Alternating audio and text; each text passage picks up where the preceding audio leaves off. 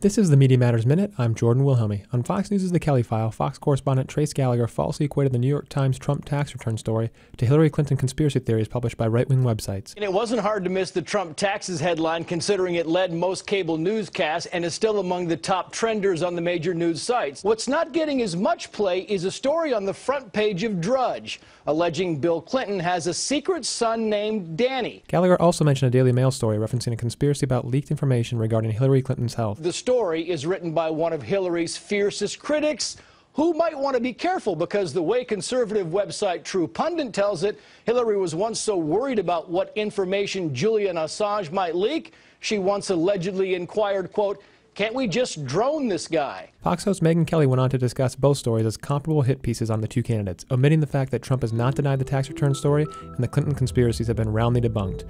For more on this and other stories, please visit MediaMatters.org.